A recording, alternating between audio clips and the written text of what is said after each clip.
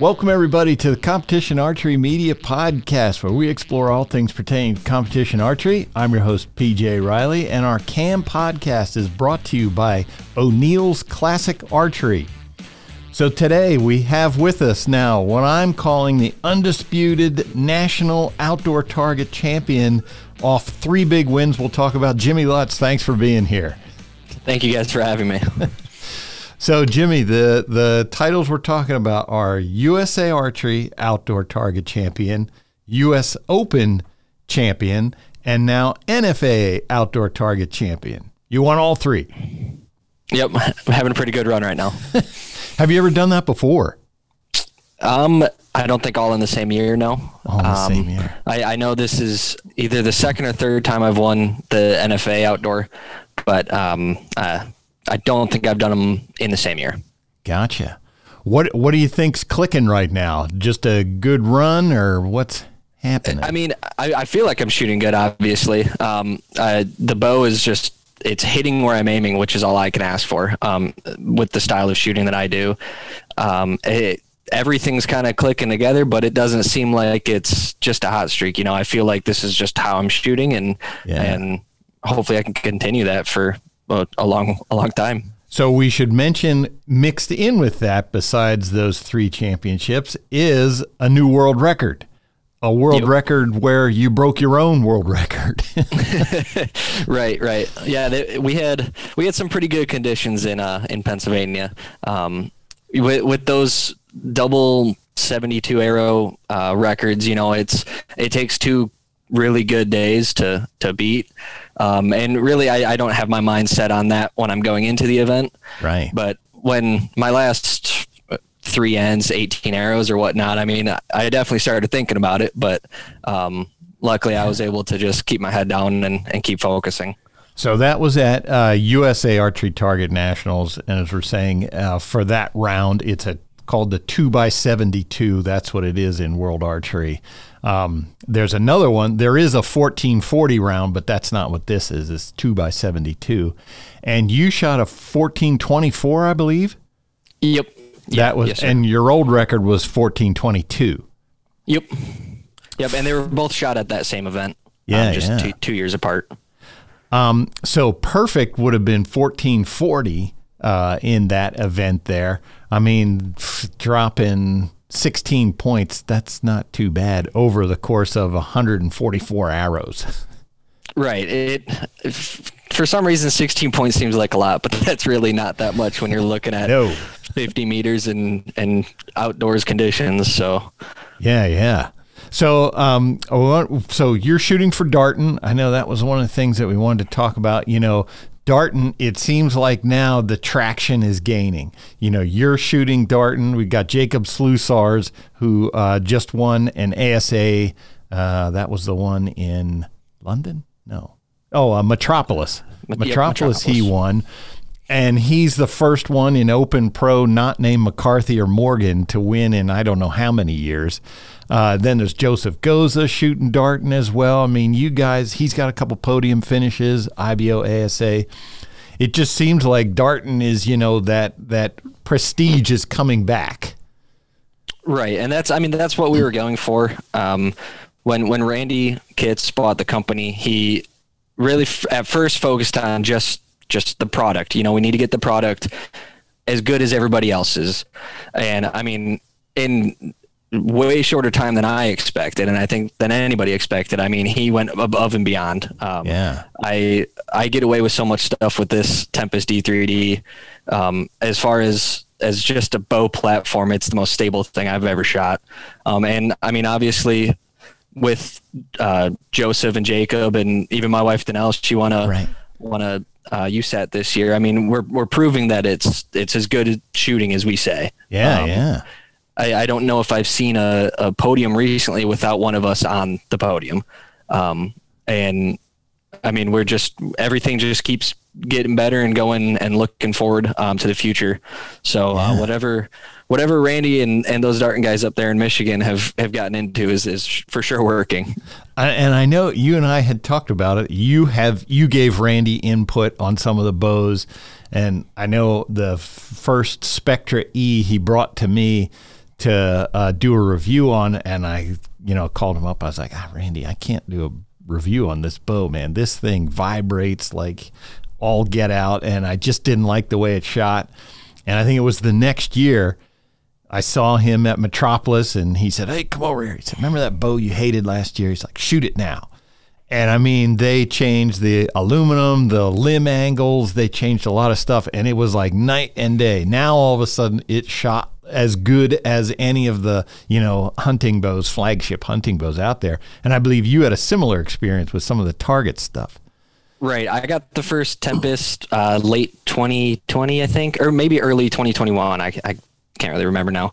But, and I brought it to Gator Cup. I got it like a week before Gator Cup. That's right. And it was exactly kind of what you were saying. It just vibrated like crazy.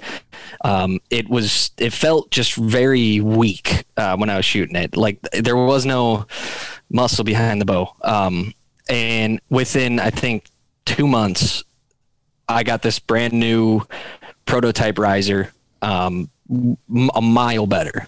Um, yeah. And then maybe a month after that, he sent me the prototype to this, which is what we have now. And it was even better than that, which I didn't. I mean, that that proto first prototype bow shot great.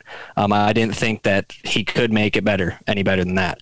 Right. Um, but this this new Tempest and the Vegas platforms for the target bows is, I mean, they just absolutely hit the money with that. It's it's extremely forgiving, extremely stable, um, and it's a mile different from what the the first bow I got was. which one are you shooting again? It's the 36. This is the yeah, it's the Tempest E3D. Um, okay. I'm going to be playing around with the ET for uh, indoors. I shot the ET a little bit last year. Um, it shot it shot great for me, but I actually made a little form change, so I think I'm going to go back to the ET. It just fit me fit my face a little bit better. Right, right for any younger listeners out there who may be new to Darton, you know, people my age, we all remember Darton because through the 80s and 90s, if you were in bow hunting, you knew about Darton. I mean, they were that was a big name. That was one of the big brands, and it just kind of fell off a little bit, um, you know, as the, we turned from the 90s into the 2000s. Uh, it wasn't, you know, one of the upper tier brands. And then, as you mentioned, Randy Kitts just bought it a couple years ago, and now he wants to turn things around there. So, good things coming from Darton there. It's it's exciting to see that, to see a new one, especially with Randy. I mean, from Black Eagle, he's a great guy, and Conquest. Um, Absolutely. Just a great person in archery. Um, so, but to your accomplishments now, let's go back uh, first to the USA Archery National Championship because that was the first uh, first one you won there. Tell me about that weekend. I mean, it was a new field. Uh, you were in a particularly favorable spot on that field. yeah. Uh, usually when we go to new fields, which happens every couple years, I feel like with that event, um, it started in Ohio and then went to Virginia and now Pennsylvania. Um, you, you never know what to expect the first year there. Um, we got there. The practice day was pretty windy, if I can remember yeah, correctly. Um, I didn't even. I shot three arrows, I think, the practice day because we just drove like six hours. Danelle wanted to get some arrows in, and I'm like, I'm tired. I just want to kind of relax. So I actually sat there with Josh and and just talked with him for for a little bit, and then brought the bow out and shot a couple arrows. But um, we we get to the first qualifying day, and I mean, it, every morning in FITA for us is pretty calm in the USAT stuff. Yeah. Um, and you always just expect maybe around half around the, the 36 arrows is when the wind's going to pick up. The wind picked up a little bit, not too bad. We were on the left side of the field, kind of covered by trees. Um, and I just finished out that day with the good score. But then the next day, we I got put on target one because I was leading the guys, and so they they peer group after the first day. Yeah, and I was in the shade, and the the little tree pocket in in no wind all day on target one, and it, I, I didn't even shoot as good of a score as I did the first day. But um, I think that's just because the nerves got to me a little bit because uh, I I knew the world record was close, but yeah, yeah I, I, couldn't ask for better conditions there. It was it was hot and humid. I it was upper 80s. Once you like the difference between shade and sun there was noticeable. And yeah, oh, I did yeah. notice, boy, down there at that one end where you were at, that shade just kept you in there. That was where the longest period of shade was. yeah, absolutely. Um, but I know when when we were done shooting, I walked over by by the Lancaster trailer and the recurve booth and stuff. I'm like, man, it actually is hot today. I didn't even realize it for the five hours I've been out here. now that tournament, I believe, used to be didn't it used to be split where uh, either recurve or compound shot in the morning and then the other shot in the afternoon. Then the next day you would switch. I think so. Yeah. Um, I now everybody really shoots it once. Right. I haven't been shooting them for too long, so I don't remember. Okay, that might how been. they used to be. But I think when I started, I think they had juniors and stuff with us. Yes. Yes. So yes. Correct. And I think that's why they had to do some weird scheduling stuff. Yeah. Um, but since they have their own uh, junior JOAD nationals type thing, um, right. But yeah, it's it's set up pretty pretty easy now. I uh, nobody's complaining about the setup now, which is great. Yeah, yeah. Everybody shoots on one line, so there's not a morning and an afternoon session. It's just morning. Um, yep. But uh, so uh, uh going into the second day, uh, Friday's 72 hours, at what point did you realize the world record was in reach? I don't want to say I, I really thought about it because when I, when I finished, I knew I had it. Yeah. But I wasn't. I was. I was more thinking of okay, let's win this event. Um, I I had maybe with like three ends left, I had like a four point lead, three point lead, and I'm like, okay, I don't want to be that guy that loses that lead in the in the end and and have to win on a tiebreaker or even just lose it. So my my goal was just to extend that as much as I could, so I had a very stress free uh, last end. Yeah, yeah. Um, and I, I ended up I, I, hit my last three ends. I think I cleaned out. I think, um, but it was I didn't really think about the world record until I after I shot my final arrow. I put my bow pot on my bow and I walked back and I'm like, okay, I got it by two. You know, that's good enough for me. Yeah. I won the event. Let's just calm down here. I got I got worked up for no reason. But so in that tournament format, then that you know winning that gives you the national championship and then it seeds you for the U.S. Open. You were then the the number one seed going into head to head matches. That was Saturday uh, for the U.S. Open, which was what we then televised. Um, and you have said before, match play. I mean, as good as you shot in qualifying, you like match play. That's where you feel your strongest suit is. What? Yep. Tell us about that. Why is that, and what do you like about it? It's more of a mental battle, um, and even I feel like for most people, it's a mental battle with yourself. Um, I feel like I'm a very strong minded shooter. Um, I don't, I don't let other stuff bother me. Um, at least I try not to. So if I'm, if I'm in control of my own shooting and I'm not worrying about other people, it usually goes pretty well. But if you go out there in a match and you're like, okay, I need this guy to miss three points, you know, uh, let me yeah. let me win. It usually doesn't work out in the in your favor. so I just go out there if I I mean, I know when I'm shooting my best, I can I can beat most people. Um, so when I'm out there, and if I'm shooting my best, I know okay, well, this guy with our conditions, it's not.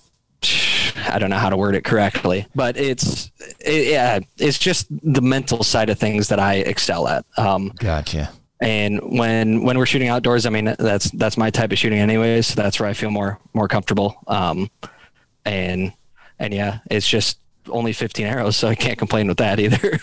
so speaking about the mental side, uh, I just recently, it's interesting, within the past week, I saw I've seen two new videos about how to properly shoot a thumb button. and in both of those videos, the people presenting mentioned well, there are some guys who like to punch the trigger. You know, they're talking about how to pull through the shot and all that. And they all say there are some people who can do it, and some of them can do it well, but most people can't. And I know they're referring to you and Kyle Douglas in particular. Right. You guys love to punch that thing. Talk about wh- how, why that is and why it works for you. I mean, if if I've heard Tim Gillingham say, yeah, if you can control it, that is the way to do it. The problem is most people can't. Right. So when I when I shoot a bow, I, I probably have said this before, but um, I grew up shooting guns, shooting shotguns. So when I shoot a bow, I I picture it just like that. You know, you're you're aiming what you're aiming at, and you just pull the trigger, and and everything's good. So I mean, there's a lot. I feel like a lot more that goes into a bow, but as long as you're just doing your thing and letting the machine do itself, it's gonna hit where your, where your pin was. At least it should. If not, then you gotta fix something on the bow. Um, so with with punching, I mean, it's essentially the same thing to me. I'm I'm kind of floating around the middle. Um, now I can't hold as steady as as a lot of the guys out there, and that's why my shot's a lot quicker. Um, but I also feel that's why I excel in the wind um, because I can speed it up, slow it down whenever I need to. Um, and in the wind, nobody's holding steady, so that kind of right. evens that out for me. Um, but yeah, it's just if you really think about it, it's as clean as it can possibly be. I shoot a very static shot, so I'm not pushing, pulling, putting extra pressure, less pressure. Some shots, I'm. It's just a constant factor. My bow is in the same spot every time, um, and as long as that pin's in the middle when I pull the trigger. Um, now, obviously, everybody hears about target panic, and and I mean that is a 100% serious thing. I never would I never would teach anybody my way of shooting right. unless I know that they can actually mentally handle it, which you can't really tell if somebody can. No, right. Um, I've tried teaching Danelle how to punch, and it works really well for about 15 arrows, and then it goes really bad. Um, That's my experience with it. When it works, I man, like, I can get it to work, but when it doesn't, it's bad. I feel like that's most people. We I, we were in uh, South Dakota, and we were shooting the first qualifying of the first Dakota Classic, and I'm sitting back there, and I look over and I see Braden shooting a thumb button. I'm like, whoa! and then I, I, think I was sitting next to Steph, and I'm like, how long do you think this lasts? Because because Braden's one of those guys that'll tell you it, it it'll shoot great, but when it when it stops shooting great, it's I mean you're messed up. Yes. And they did a good nine ends with it. I think it was it was impressive, but but you really there's there's very few people that you can see on the high level with that can punch and punch consistent and for a long time. Yeah. Um, I feel like you all like a lot of times you see these these younger kids or I mean just anybody that switches to punching, um, and they get really hot for a short amount of time and just burn out. Um, there's I mean, but we've all I, everybody's experienced that little anticipation. Um, I've done it. I know I've seen Kyle do it. Mike Schloesser. Um, and we know Tim has missed a couple targets before, but yes, but if, if you, the, I mean, the whole point is you're taking, you're taking the bow and everything out of picture and it's just all in your mind at that point. Um, and if you can control that, you can, you can hit the middle every time. So S- sitting with uh, Darren Christenberry doing the ASAs, he he calls it every time. If Tim has a little flinch and catches it, he's like every time he's like, now watch this next one. He's gonna hit it right in the middle. and yep. he usually, you know, once if he doesn't, if the bow doesn't go off, he's able to save it. Usually, he can fix it pretty quickly. We we actually had that conversation this past weekend. Um, I I mean, it, we call it ginches, and it's kind of yeah. when you just come off the back wall a little bit. Well, I, I mean, it happens to me. It happens to Kyle. It happens to Tim. For me, it's mostly if I just get way too relaxed and my bow just wants to go forward. Um, the trick is you don't. You have to train yourself not to shoot the arrow when that happens because it's really easy to just touch that trigger and it goes off. Um, and when we were talking, when Danelle tried to punch in Yankton, and she shot really good, and then had one ginch, and it went off, and she shot a five, and we were talking, just that's that's the difference. You have to control and not be able to shoot it. Then, yeah, um, yeah. Now, for most people, if that happens, you should probably let the bow down. But I know I rarely ever let down, and Tim is we're just comfortable enough where if we ginch yeah. You know, we just put it right back in the back wall and make a strong shot. It doesn't change much in our shot. Yeah. Um, but but that's the scary part for most people.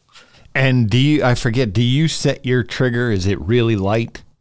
Extremely light. It's yeah. Extremely uh, it's I right now it's set where I have to tip it upside down to cock it. I have oh, to have the right. weight of the barrel um, to actually set the release. So that's crazy. Wh- which release are you shooting? I'm shooting the TruBall Abyss right now. It's the Abyss. the same release that I shot back in 2019. Um, I pulled it out uh, right before Columbia just to get get with something that I was comfortable with. So yeah, yeah, man, yeah. That uh, I you know I talked to Kyle Douglas about it, and he actually said going to the thumb button, he used to shoot a hinge, and he just kept having dip bangs, and he just couldn't you know, he wanted something that he could control better. And now, I mean, he says, man, when that thing gets into the middle, he wants it super light so that he can, you know, he can touch it off, and his brain and his thumb are in conjunction. And I'm guessing that's that sounds like what you do too. Yeah. Hundred percent. I when we were in Lancaster in 2020, um, I was shooting next to Kyle and Tim, and Tim comes up to me. He's like, "You better watch out. Kyle's punching now," and and he took. I think Kyle took third actually that year. Um, in or no, no, no, he took fourth in Lancaster, but and then I think he's won every Vegas since, except for this last one, and won every internationals. I mean, he's just a machine. So he figured out the indoor game, which I I'm still trying to, but right, right. I got the outdoor game down. So yeah, it's interesting, you know, hearing guys like you talk about that with the punching because you know the the common thread is ah don't punch that's bad for you and stuff like that. But yet, I mean, three outdoor target championships in a row, you've won them all. You know, Kyle and all his indoor stuff. It's like so two of the best shooters that we see right now do the same thing, which is what everybody tells you not to do. and Kyle took second at both of the shoots in South Dakota last week. So oh right, I mean, it, right. It it's it's by far the most consistent type of shooting. If you're trying yeah. to break arrows and have good groups, do that. But I mean, I would never tell somebody to do it if if I know that they're going to have issues with it. Yeah, because um, it can be it can be amazing or it can be the worst thing ever for somebody for some people. So how about that? So, all right, so going to NFA now, outdoor uh, target nationals. That one is outside, that's a 40, 50, 60 yard shoot, correct? Yep. Okay. Yep. And you shoot 30 at each, 20 at each? I forget. Uh, you shoot 20 at each the first day and then 30 at each the second day. Oh, okay. Uh, that one's yep. a two day as well. So yep. tell me about that one. Uh, South Dakota, I picture it being windy, but I don't know if that's what it was. It, I mean, that's what everybody expected. Um, it really wasn't that bad. Um, there was in the later part of the round, the wind would pick up just like it does anywhere, and you basically would just have to time it. Um, you could hear it coming, and then I mean, you'll. It's kind of fun to watch when you're standing there on the line. You hear the wind, and all of a sudden you see 20 people let down and just sit there wait. um, but but yeah, it wasn't it wasn't incredibly windy. Um, that's the it wasn't i guess it was kind of hot but it wasn't terrible. You know it was probably the best outdoor weather i've had in yankton for sure. Oh okay gotcha.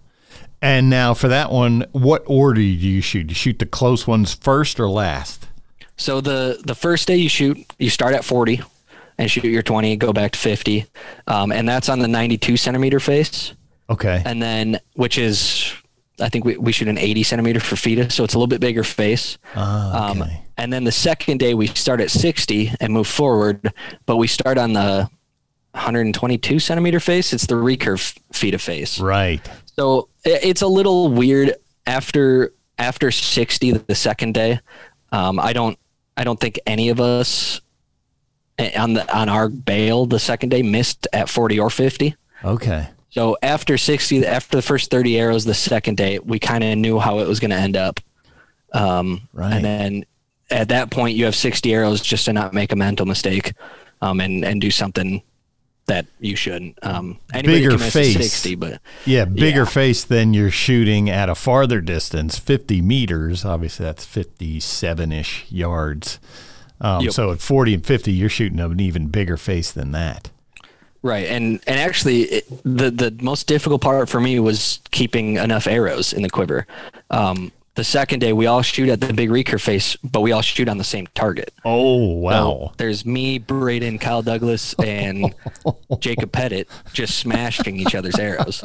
Um, and I, I didn't have I didn't bring that many arrows to begin with, and because I totally forgot about that second day of that event. Yeah. Um, but I mean, there, there's a couple times where the guys were nice. I mean, Kyle, Kyle shot around the X a couple times, and and we all tried to help each other out. But once once it got down to 40, they're they're like, okay, Jimmy, we're aiming at your arrows now because I'm not likely to miss at 40, so yeah. they need to try to break my arrows so I can't finish.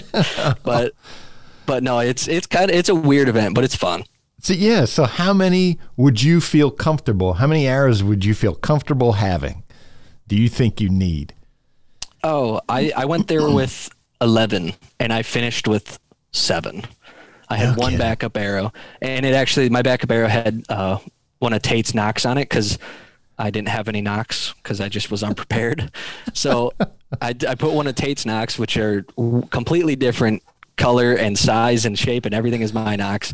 I shot it at 60 in the practice round and it hit right next to my other arrows. So if I mean if I needed to, I could have used it. And with NFA, I think you can use two different colored nocks. But but yeah, um, that oh, yeah, I ended up with one extra arrow over the over the weekend. It was a little scary, but jeez.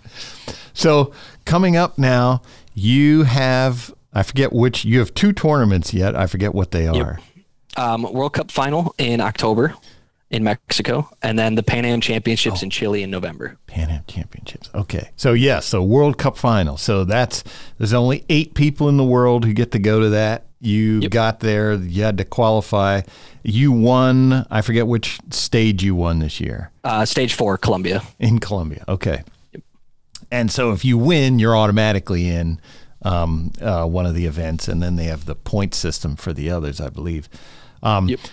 How do you feel about that uh, World Cup final? Is that's not one you've won yet? I have not. No. Okay. That's that's kind of the the Super Bowl for the FITA season. Yeah. Um, the the I won the World Championships in 2019, that's which it. is, I mean, the World Cup final World Championships are like the two biggest. They go hand in hand, really.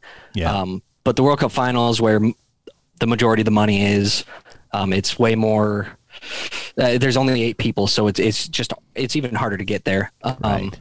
So it, it, it's a it's a huge event, and it's it's the one that I want to win to to feel like I've accomplished everything that I wanted to in FITA. Um, I'm, I mean, I'm going to be shooting for as long as I can think still. So uh, there's going to be other chances, but yeah. I'm, I'm, in good form right now. I'm I'm shooting great. The I, I just hope hope this is the year. But it's it's my type of shooting. Um, I, I love matches. I love outdoor matches. So, um, I mean, I could go there and it could be 15 arrows and I'm done. Yeah. But um, I think but you said that has happened to you before. Yep. Yeah. I, uh, 2019 in Russia. I went there. Um, it, it was kind of a rough trip. I wasn't. I, I think I was sick with something. I wasn't feeling great. Um, I get there, shoot 15 bad arrows and and was done. So Man. I just don't want to do that again. Because because the format for this one is there's no qualification. You go straight into match play. Yep. Yeah. I mean, they they do the one and two seed, which I think is Mike and uh, either Matthias or uh, John Philippe Boulch. Um, they're on the opposite sides of the bracket, and then they draw names, and that's that's just how you get chosen who you shoot. So we don't know who we shoot against until the night before we shoot. Yeah, gotcha.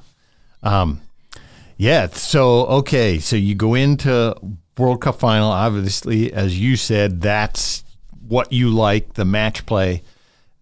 Do you get nervous going into that, or is it more excitement? Um, I, I would say more excitement now. Um, I, I mean, back in when I when I first started this stuff in 2019, my first medal match in Turkey. I, I don't even remember it. I mean, I was so nervous. I was shaking so bad.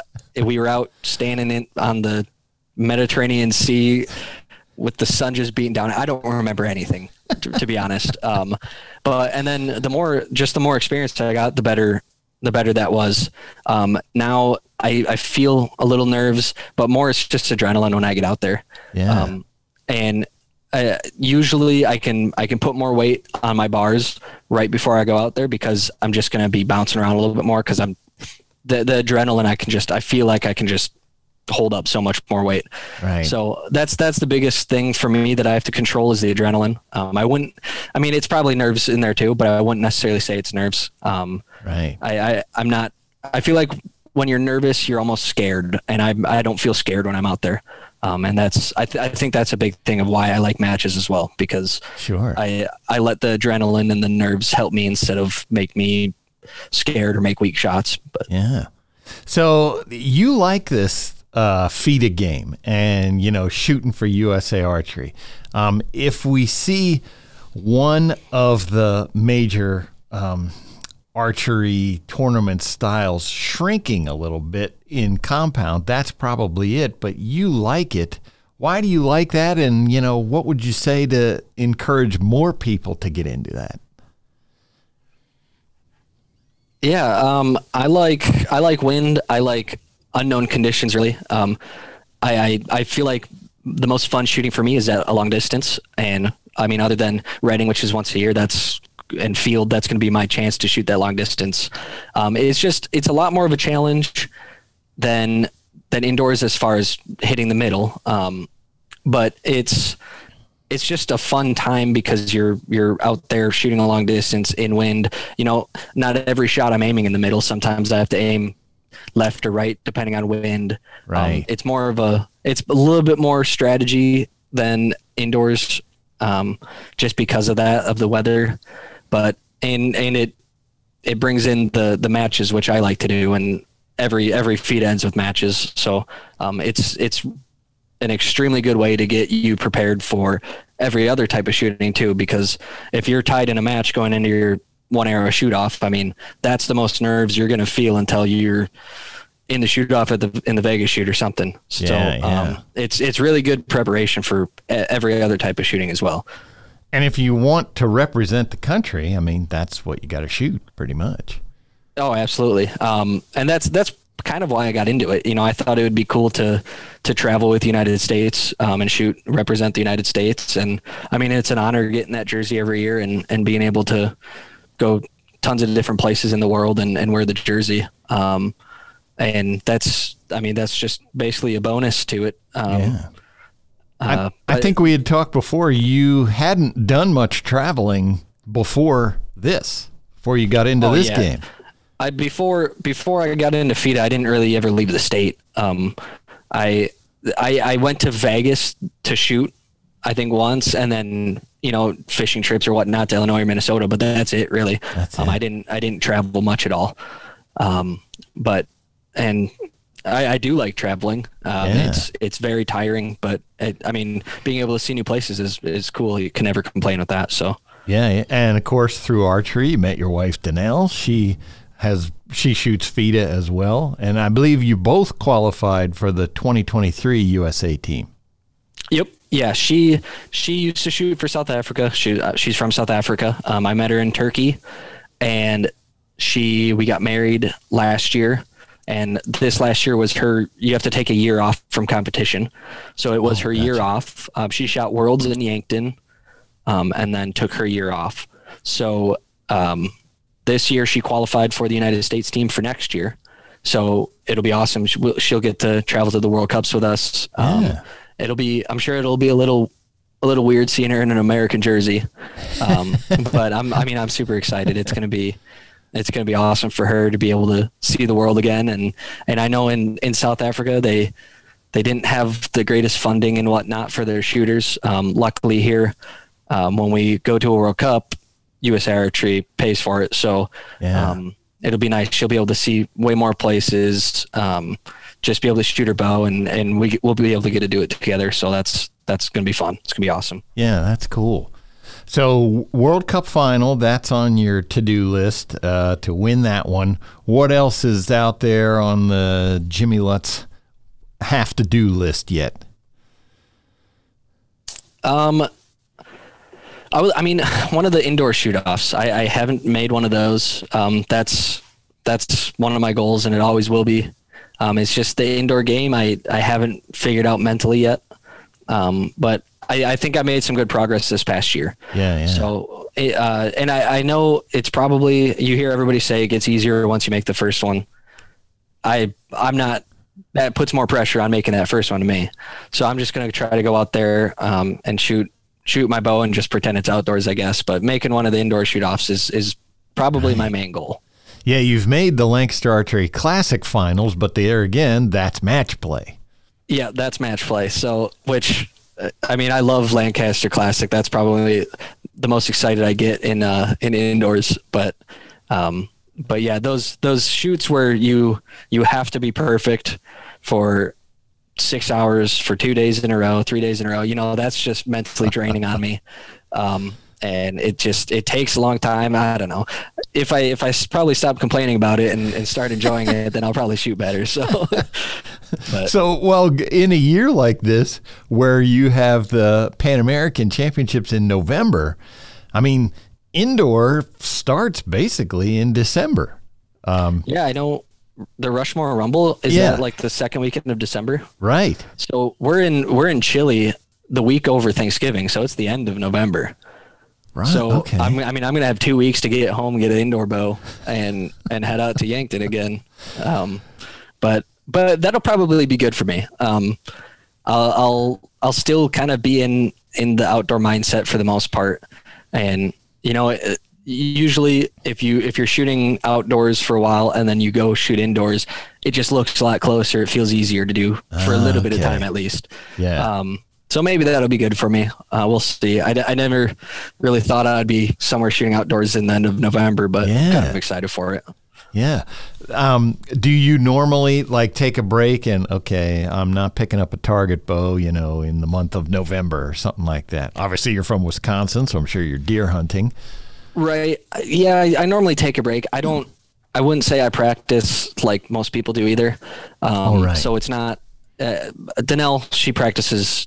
I mean, if she's if she's in season, she's gonna try to shoot as much as she can every single day. Yeah. Um, I don't practice that much. I probably should, but I don't. Um, but yeah, I'll. I mean, I'm not going to pick my bow up until October 1st to get ready for the finals. Um, hunting season starts the 17th or 18th here, um, so that'll give me a little bit of time in the woods. Um, the boat's getting fixed right now. That should be done, but we'll be uh, we'll be out on the lake uh, for most of the time, and and I'm working a lot. I've been staying pretty busy, so. Um, Doing what? I, that was what I wanted to ask you. I don't know. Do you do something besides archery? I, I work for Darton Black Eagle and Conquest. Oh, okay. uh, I'm a regional rep, so um, anybody in basically the Midwest states and a couple outsiders, um, I, I talk to all the dealers and stuff. But Gotcha. What do you hear from them about, you know, Conquest is a brand up and coming? Obviously, they see all the top shooters shooting that. What do you hear from dealers when they're, you know, when you're bringing a new brand like that? It's not new now, but when you started. Um, right, so it's it's a little weird because we'll have we'll have shops because arrows are the biggest for us. Black Eagle is by far bigger.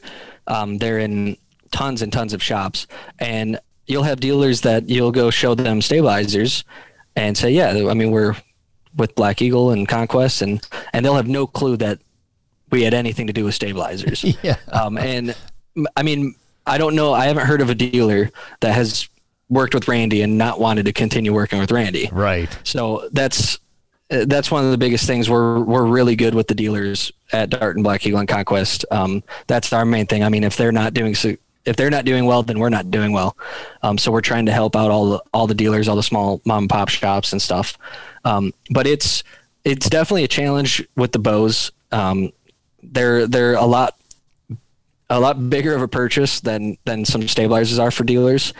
Um, getting, I mean, it helps having Black Eagle there already for sure.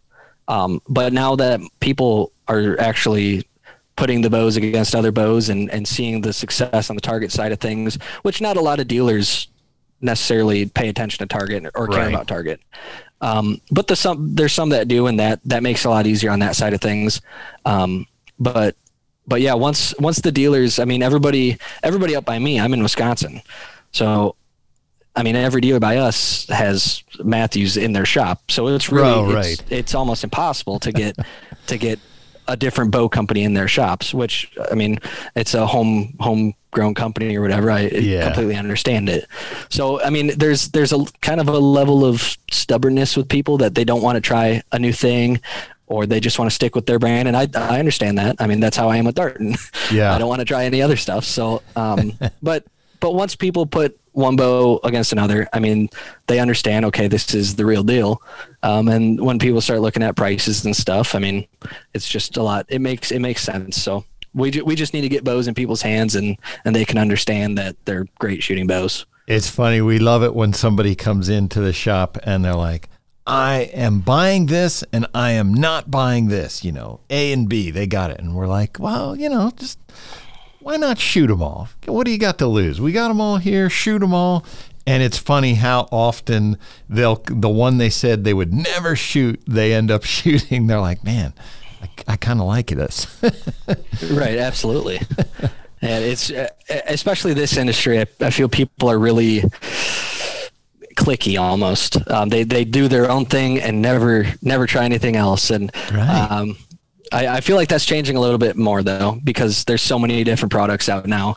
Um, there's hundreds of different types of arrows, Yeah. bows, stuff. People are finding what they like, and well, I mean, we're we're just trying to make make the bows to what everybody likes, what people like, and I feel like people are very surprised and and excited when they actually shoot one. Well, that's the thing. It's you know because I do the reviews here for all for all the Lancaster bows that come in, and I do all the flagship ones. Everybody's like, ah, you know, you always say you love them all, and I mean those top end flagship bows.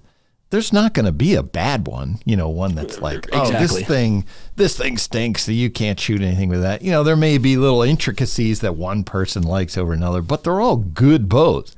The Yep. Darton bows, they're good bows. It's just somebody has to try them to to realize it. And like Right. you said, that's the part. And it is we're seeing that more and more that more people are trying them and getting Yeah, into them, absolutely. which is cool. No, it's. eh, I'm, I mean, I'm way bigger on the target side of things. I don't necessarily hunt a ton, so I, when I, I mean, and every shoot this year, it, it seems like that I've gone to, every one has more and more Darton shooters as the previous one. Yeah. Um, w- we went to three or four of the ASAs this year, which we normally don't go to many of those, and it was kind of crazy to see how many people actually were shooting Dartons compared to the USATs when me and Danelle are were typically the only ones at USATs. Right, Um, right. but it's it's cool to see the growth. Um, I mean, when I before this, I don't think I ever saw a Darton other than my dad's dusty one hanging up in the garage. That's about right. but I, I mean, it's it's crazy to see where where Randy has brought this in two years. yeah, know? yeah. That is cool. So, okay, so you're not shooting, you're not practicing with your bow. What's Jimmy Lutz doing Uh, away from fishing. archery? Fishing. Yep. You live in Wisconsin. Of course, that's it. You probably can turn around and throw a rock in any direction and probably hit awesome fishing, I would imagine. Easily, yeah. We uh, we, we live on a lake. We, we bought a house right on the lake here. Oh, Um, no kidding. The fishing isn't amazing here, um, but it's it's. I mean, it's fishing. It's you don't have to catch fish to have fun, but um, we we figure out the lake a little bit, um, and we go pretty much every night. Um, right now, the boat's in the shop, so we got a couple days off of fishing. But right at right when work's done, I I walk out of my office, and Danelle's like, "Well, you ready? Let's go on the boat." And I'll look out the window, and the dog's already sitting in the boat. So, um, no, we we spend the majority of our time on the water, um, and especially this off season. Danelle's not going to shoot a bow for a while. I'm not going to look at a bow for a week or two, and and we'll be out on the water. What do you get? I'm jealous of that, man. That drives me nuts. What What are you fishing for mostly right near you? Uh, bass and we, we get a lot of pike in our lake, um, Okay. but mainly we go for bass um, Yeah. anywhere we go. Um, the I feel like the pike have kind of overrun our lake now, but it's I mean it's still fun catching pike, but Always. They're so yeah. aggressive. oh yeah, there's yeah. We got we have a really shallow lake, so it's kind of it's kind of a weird one to fish. Um, Ah, But there's I mean there's lakes all around us that go 200 feet deep, so it's not a big deal. We just buzz the boat over there and and go fishing there. But Yeah. um, if we're just going for a, for an hour or two at night, we're mainly just catching bass and pike. There's something to be said for close. I mean, living on the lake, uh, just to be able to just go out the door and fish. Like you said, it doesn't have to be the best in the world. It's right there. Right. our our house actually, we have a boat garage underneath. So under our Come living on. room, you you can you can pull in two 16 foot bass boats or john boats or whatever. But yeah, we can. I mean, we could we f- could fish bluegill right out the window if we want. No kidding. It's Yeah, that close. cool. Yeah, it's completely over the water for maybe like 18, 20 feet over the water. So. No kidding. Jeez.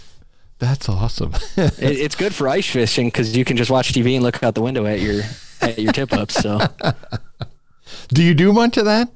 Ice fishing? What? That's like Oh, yeah. extreme sports, I think of when I.